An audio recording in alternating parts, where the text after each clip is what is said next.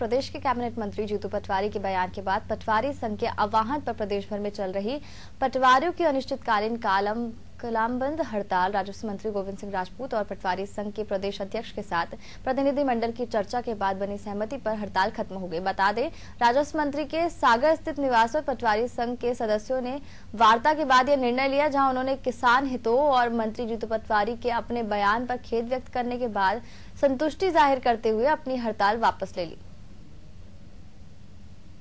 तो सर के पास बेहतरमान मांग पहले से लगी हुई थी और बेहतरमान मांग पुरानी थी। ये मुद्दा अलग था। इस मुद्दे से जीतू पटवारी जी ने खेत व्यक्त कर दिया हम सारे लोग संतुष्ट हैं। कल मीडिया में भी हमसे उनसे बात हुई है और हम उनकी खेत से संतुष्ट है पूर्णतया और आदरणीय मंत्री जी, हमारे परिवार के मुखिया है। आपका निर्देश है, आपकी समझाइश है। आपने समझाया तो हम अन्नदाता के भले के लिए और अतिष्ट में काम करने के लिए सारे लोग तत्पर है। गलत गलत जानकारी का मीडिया में गलत आया, इस कारण से हमारे कुछ साथी हैं भड़क गए, उनके, उनको लेके हमने भी बयान दे दिया, वो सारी बातें खत्म हो चुकी, सब बातों का करने कोई मतलब नहीं। सिर्फ़ किसी आदमी के लिए कोई दुख पहुँचा हो तो मुझे खेद है।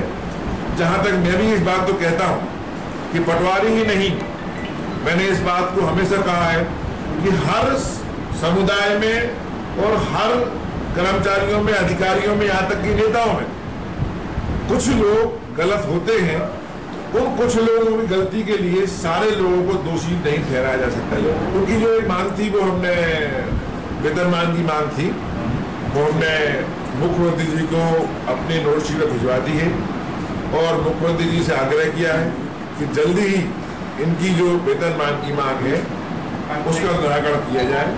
तो वो मैंने भिजवा दी है, उस समय में हम मुख्यमंत्री जी से